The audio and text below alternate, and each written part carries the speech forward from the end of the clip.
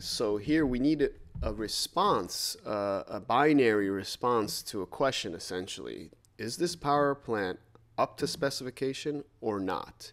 In other words, does the mean weld strength, so let's represent that with mu, that would be the mean weld strength of welds at this power plant. Does it exceed 100 pounds per square inch? This is our question, okay? So how do we formulate the test? Well, we we are going to start out by assuming that we're less than or equal to. In other words, we don't meet the weld strength, the specification. And then the alternative, the burden of proof, what we want to test is that they exceed 100 square, uh, pounds per square inch. Okay? Now, see how these are competing claims that are mutually exclusive? Um, and you see why we put the, the one that needs to be proven into the alternative. The burden of proof is on this guy. So it's in the alternative. A nice place to start uh, to, to assume to be true is that it doesn't for obvious safety purposes we shouldn't assume that it does meet strength uh, the specifications and then try to prove that it doesn't. That wouldn't be wise. Okay.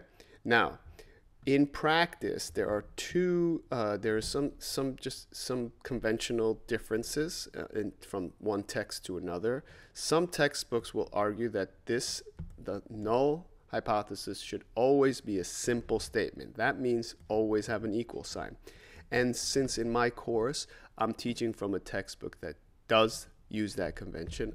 That's why you saw in a previous slide that I had equal sign for the form of the null. So this would be the uh, um, alternative notation, or I should say um, interchangeable, just to not confuse it with the alternative hypothesis, notation for this guy, for the null. And the alternative would be clearly stated exactly the same as the other. Okay, so the argument here is that you keep the null a simple, what's called a simple statement, which means you assign one value for the starting position for what you initially assume to be true, as opposed to a complex statement, which is what this is this is saying, right? Because mu is less than or equal to 100. Well, there's infinite values less than or equal to 100.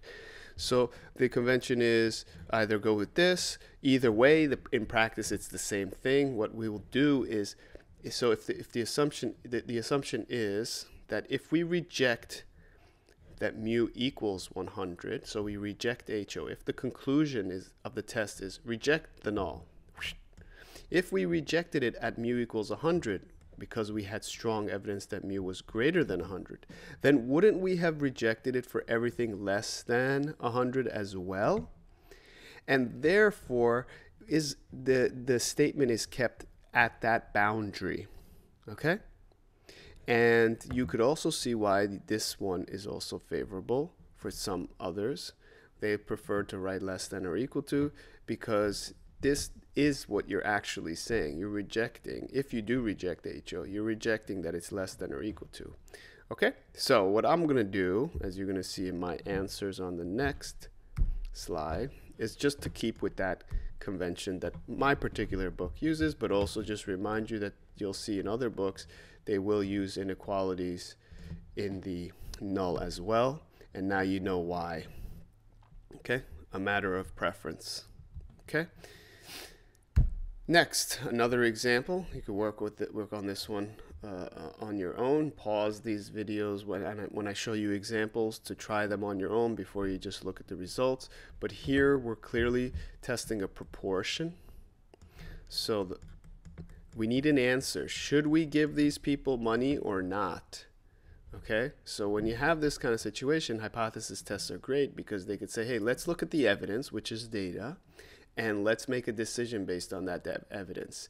The evidence is always impartial, or sorry, partial, in the sense that it's sample data. So it's we're making decisions with partial information, right? Okay, so here we want to test. Let me do the alternative first. Um,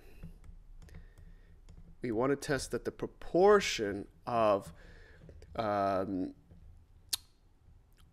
people at this large, large organization, members of this large organization that support a project has to be greater than 55% in order for us to give them funding. So the burden of proof is on in the alternative.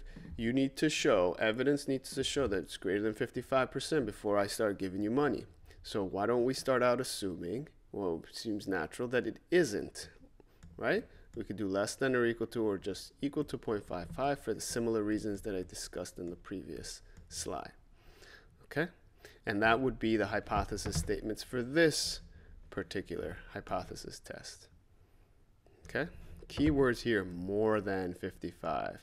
In the previous example, exceed 100. Okay, look for words like exceed, more, less than, at most, um, different, not equal to. Those would indicate an alternative hypothesis that is a not equal to sign. Okay, but not in this case. This was clearly testing a direction. We call this a directional test. It's more specific, more than. Okay? Moving along. Here's the results, exactly as we had before. Okay? Now, there are some errors that you can make in hypothesis tests.